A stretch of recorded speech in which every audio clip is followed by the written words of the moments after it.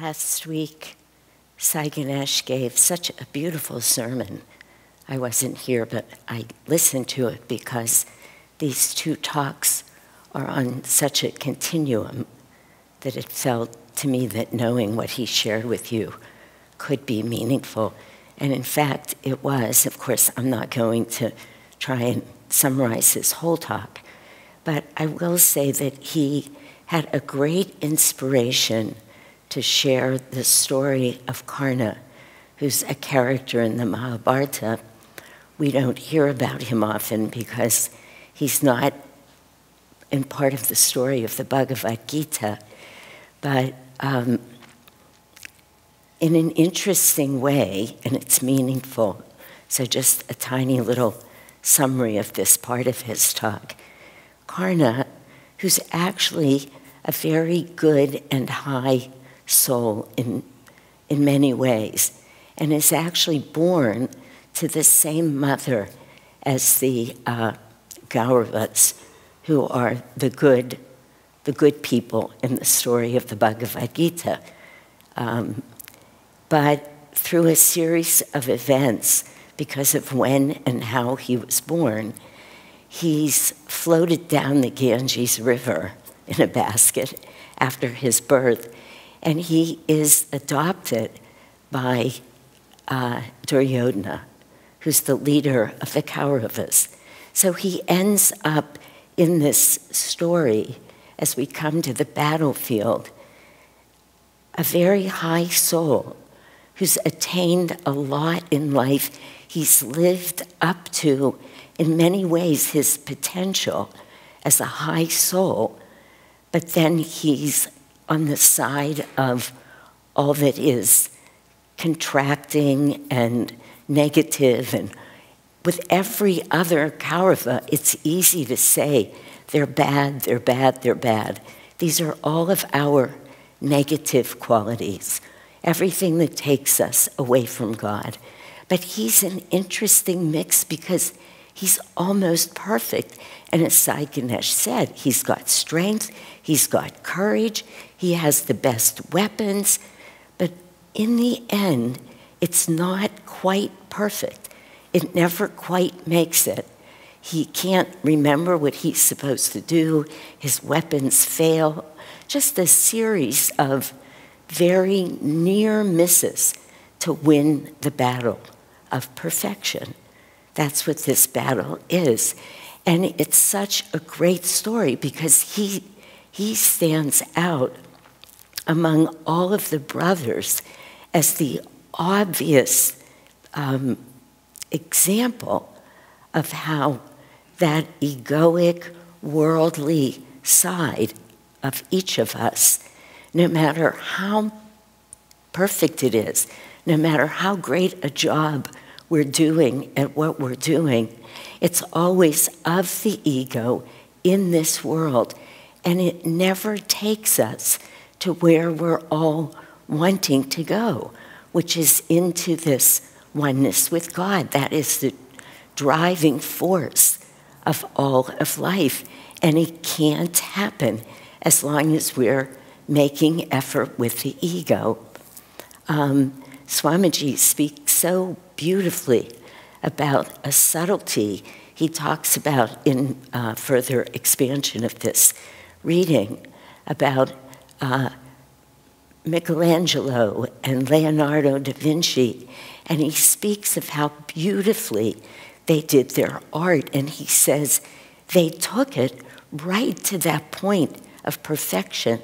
There was just the perfect amount of muscle in a statue, or light and dark in a painting, just the perfect amount of depth of everything you would want in art.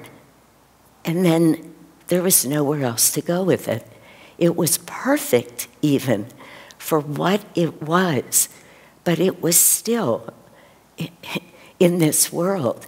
And it was still uh, sort of managed by, limited by, uh, all that limits us on this path when we are trying to find happiness and freedom with the ego.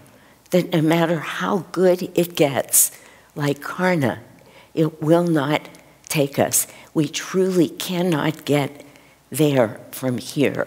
And so this reading so beautifully keeps coming back to all of the ways and the reasons that we need to bring all that we can to know God. That what we're really looking for is inner communion. So Jesus, and this was very much the end of Sai Ganesh's talk, basically says, My kingdom, when Sai Ganesh was talking about how the Romans got Jesus and took him away, and even his disciples wanted him to defend himself, uh, and Jesus just wouldn't. And ultimately, he says to them, My kingdom is not of this world. He's saying, I am asking you to transcend all that you know, all of the ways that you've been trying to live. He really shakes up the status quo by his presence here, and yet he does it with wisdom, with grace, with courage, with love, and then says, My kingdom is not of this world, and gives us the commandment. And that's what it is when he says, Be ye therefore perfect, even as your Father in heaven. And most of us would go, Me? It's like, Be perfect? But it's a commandment from Jesus.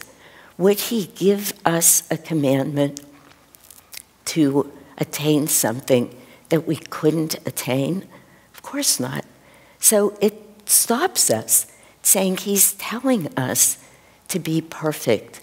So the commandment comes, and as we, all of us who are bringing our best effort to know God, we're doing all that we can to do it. And as we attend an event like last night, I wasn't there, but I'm feeling it from everybody who was there. I was listening as Helen, uh, many of you were not here, but Helen just gave a beautiful talk comparing some of what she felt last night, the, the deep need for receptivity to, well, she was talking about uh, the purification ceremony and how we come up and we're receptive. But that is what Jesus is talking about too. How many times do we hear, for as many as could receive him? So, this uh, uh, ability of ours to keep trying, again, I was saying through events like last night, through classes that we attend, through chanting, of course, through our meditation, we begin to have a memory of who we are. It's not that we're learning something so new, but we have these awarenesses of what we have in us, who, who we actually are, and that maybe we could be perfect as our Father in heaven. And then, so we have Jesus' commandment to do that. We have this element of memory that is really called smriti uh, in Hindu, where we just begin to remember, not to learn anything new, but to remember who we are. And the more energy that we bring then to our practices, to that awareness, then God's grace descends. And with all of that, we we have the realization that within us lies the ability to do that.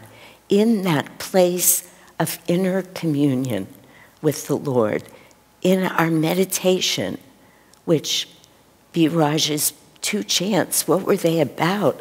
Both of them were about meditate, go deep, do, do everything guru given power, use it to awaken the Kundalini, which is where that these memories are, which is what is going to allow us to find what we're looking for, to keep moving into the light. Swamiji says, inner, in a place of inner communion, God enters our heart and makes us his own. And when that happens, it allows us to see that the commandment is a reality, that we can do it. The ego couldn't realize that because what's being asked of us is something that the ego cannot imagine. It's not going to treat everybody who mistreats us well. It's not going to do that. The ego doesn't want to do that. The ego wants to fight back, it wants to resist, and yet we're being told in the Bible, which is nothing but an ongoing instruction on how to find God. And we're being told love those who hate you, pray for those who have treated you badly. I've, I had an experience, I've shared it in various forms, but there was a, somebody in our congregation, this is many years ago now, who had the habit of approaching me all the time. The first sentence was something very negative. Always the first sentence was, like, walk in the door and tell me what I was doing wrong in a class, in a leadership role, and, and then we would go on to have a lovely visit. But in my mind, I was writing the letter I was going to write later, like, were you trying to hurt me? Were you conscious of the fact that it could be hurtful? That's what I always did with it. And one day it came to me the way through this is by loving that soul. That's the only way through this. There is no lesson to be learned here, no lesson for you to teach. Love that soul. Now, this is one soul of all of even the people that just I come in contact with every day or over the period of months. So I began to practice exactly that, not just when I was with them, but when I wasn't with them. I would hold them up in a light. I would open my heart and I would treat them with pure kindness and respect. And in a very short period of time, any time I would see that person, I would have an experience of God's love. Why is that? That which we can love purely actually it, doesn't become the divine, but it reveals the divine. You remember the story of St. Francis? There's one story we tell often of how he kissed a leper. This is a different story, though. When he came across a leper and again had that initial sense of wanting to uh, be away from them because leprosy was a highly contagious disease and the lepers were treated very badly in Francis's day. They had to wear, wear bells so people could hear them coming and get out of the way of them. And Francis didn't do that with this leper, but rather he embraced him. And as the leper and he started separating from each other after the embrace, the leper became Jesus Christ right there in Francis's presence. Why? Because that which we can love purely, beyond ego, that's what's being asked of us. Open our hearts, dive into that place of inner communion. I love what Swamiji said. God will enter our hearts and make us Him. He will have us feel His love then I realized the more purely I can love everyone, anyone and everyone, no matter how they're treating me, they become the source of my being able to uh, see God, to feel God. That's the goal of life. Everything that happens to us, everything, we have to say to ourselves, this is guru given, God given. Helen had a prayer outside this morning as we started the fire ceremony. And part of her prayer was, let me meet every challenge with the consciousness of your presence. And I thought, that's the sermon for today. Let me meet every challenge because just like Swamiji said, every one of the challenges that comes to us is coming to us so that we can expand beyond it, greet it with the presence of God, with the consciousness of God. It's hard.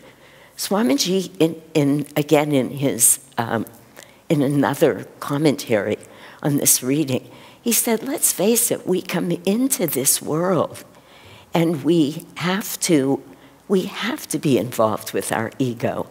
We have to learn how to walk, how to use this body, how to interact with other people. Swamiji's words. He said, This is not easy. Let's face it. He said, Life is an obstacle course. Well, that's exactly right.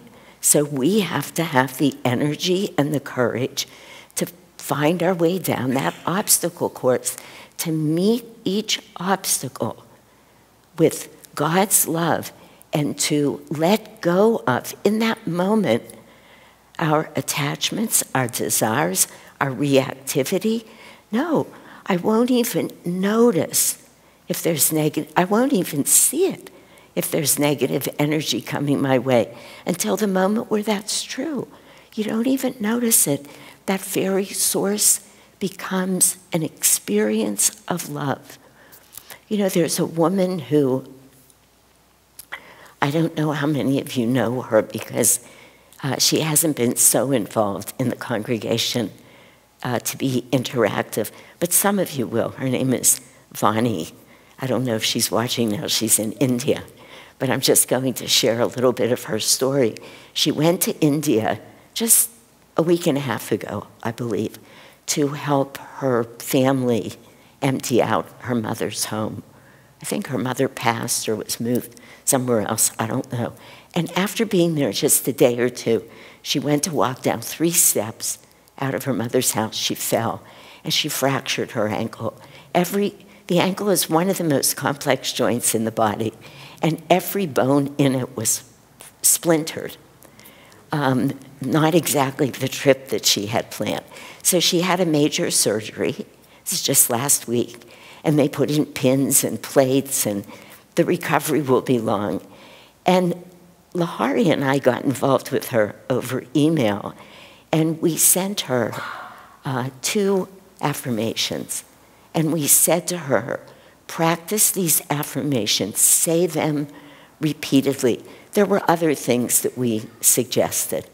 Not necessarily a life every day that Vani or many of us, certainly not me, would have lived repeatedly living with an affirmation, repeatedly having Swamiji chanting Om in the background. You're lying there, you can't do anything. So repeatedly remind yourself that you are a flowing river of boundless energy and power, or whatever those words are. I am well, I am strong, I am a flowing river of boundless energy, close enough. But I, this morning it came to me, and I hope Vani's watching. Here she had this very difficult thing happen to her. Very difficult, very painful. Suddenly her life will be very different for a long while. And I thought, if she just does that, if she just constantly repeats the affirmation, bring God's love into every moment Greet every challenge with the consciousness of God's presence, this could be one of this could be the greatest gift imaginable in her life. It could be the transformation that allows us to realize I and my Father are one. It could help her transcend. I'm speaking about her, but in a moment in the minister's room, I was just sharing this story because it came to me.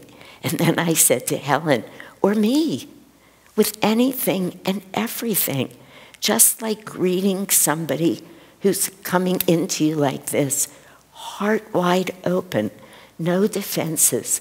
I heard um, Anandi or Diana, I'm trying to remember, tell a story, but I've heard a couple of stories like this about Swamiji, where they were having a town meeting uh, at one point about changing the legal entity, I think it was, that Ananda Village was.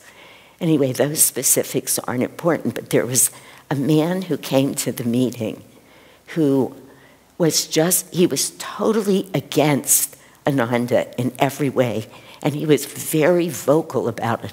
I don't like the people that are there. I don't want more of them there. He really uh, spoke very negatively and badly about Swamiji. Swamiji was there, by the way.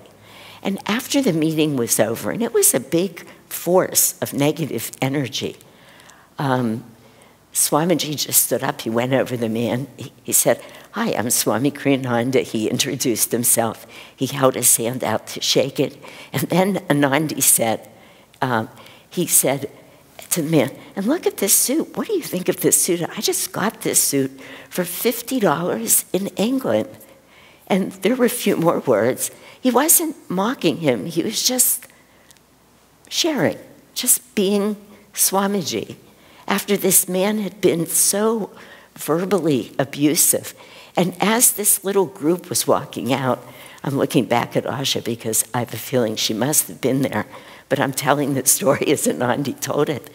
The man, start, the man goes, and look at this suit. What do you think of this suit? Mocking Swamiji. And everybody heard it. Everybody. And Anandi said, I was so irritated with that man, and I wanted to turn around and tell him, but Swamiji was just walking out beautifully, so we all just walked out. She said, but I think many of us were so offended. And when Swamiji got out, just in the sweetest way, Anandi said again with no mocking, but he turned and he said, Look, what do you think of this sports coat? I got it for $50 to his little group of people, totally unaffected. Totally. Imagine that not reacting, living with the awareness of God's consciousness all the time. That's what we need to do. That's what Jesus is saying to us. Be ye therefore perfect. And we can be. Again, let me say, he wouldn't ask something of us that's impossible. Would Krishna say to Arjuna, Be thou a yogi? Same thing. No, he's saying to us, you have it in you. Start practicing it as many times in the day as you can. I am a child of God. My guru is here. My guru came and found me, and he is walking me through life into God's love, into God's light. Because really, the the bottom line is, in the end, that's all there is. Is God's light, God's love, God's peace, God's joy. And that's where we're all headed, and we can get there. Swamiji says the path to self realization doesn't happen in one leap, it's a series of moment by moment making the choices that will lead us into that light, that will take us to, in the end, all there is. So we bring it into our lives as reminders that this has been asked of us, this has been commanded of us, and we will do it.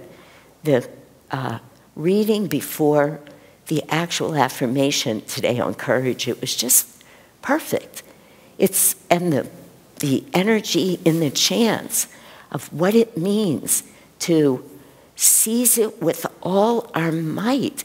You just repeat those words and you feel that energy and know that if God has asked it of us, then we can, we can go there. And we do it, as Swamiji says, step by step, day by day, moment by moment. Keep choosing the light, keep choosing the light. Don't let those negative thoughts in. Don't let anybody who's teasing us or who's treating us badly love them. Love them, honor them, pray for them, because every bit of meditation, every act of service, every act, this is why we say yes to serving, takes us closer and closer to that goal that is just right in front of us. The guidance is right there. The path has been made clear. What a blessing for all of us.